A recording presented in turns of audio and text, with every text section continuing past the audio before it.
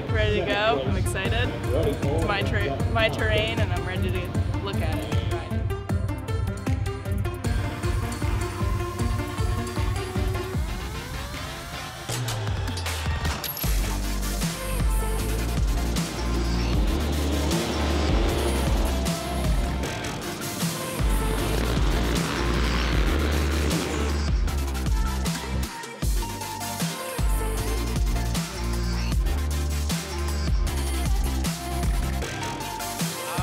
Pretty good. Been doing a lot of local racing between J Days, NY Off Roads, and Netros, and I think it'll all be a pretty good combo for today's race, and I'm excited to see how it goes.